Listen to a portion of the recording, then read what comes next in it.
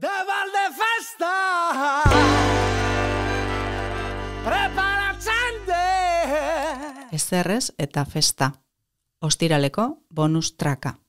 Aeka. Gaur, usue apaolaza larrea. Nik nahi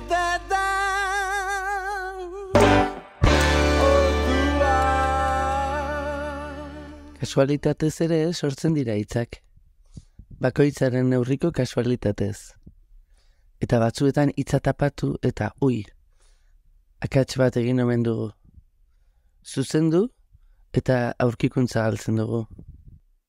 Berrian bertan hasi ziren txiokatzen lapsusak sortutako balizko akats esanguratsuak. Eta joan dira horiek ere, barre artean. Podcast honetan esan da bigarren hizkuntza ikasten dugunean lehenik gramatika ikasten dugula. Eta gero agian hizkuntza hori nola erabiltzen den. Umetan egiten omen da bestela, dena batera.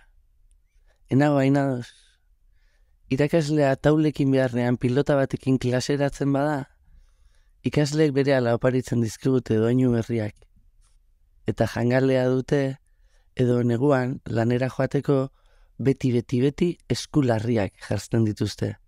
Edo egunero goizean goiz, txigortu eta egiago saltzen dute.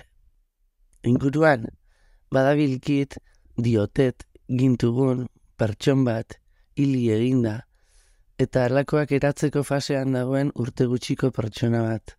Eta hitzen munduko hitz bat da ama, esaten du urduri, hitz abstraktu baten bila badabil. Eta jainasia egiteko zentroak ireki nahi ditu. Gimnasia, baina txiribuelta askorekin. Eta aspaldiko nire hitz kutxuna berako paritu dit.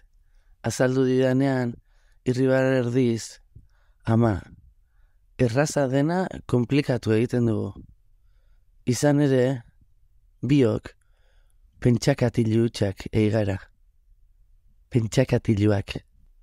Bazela uste zuen hitz bat, zuzendu egingo duena, ez delako berez. Gure Juan Bauri bonus hauetan entzun eta entzungo duzuena lapurtuko diot hitza. Akastasuna.